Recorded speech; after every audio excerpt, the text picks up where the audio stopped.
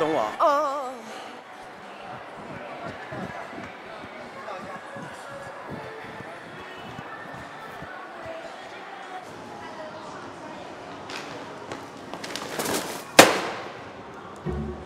又是你！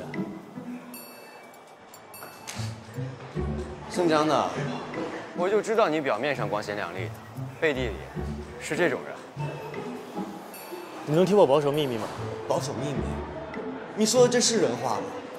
如果你有女朋友了，大可以告诉玉欣姐，没必要背着你女朋友，还约玉欣姐出来吃饭玩暧昧。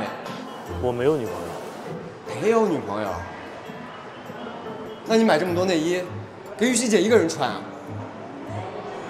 我警告过你，如果让玉欣姐受到了伤害，我会让你付出代价的。精之怪，真是越想越生气。绕着滑行打萝卜，敲。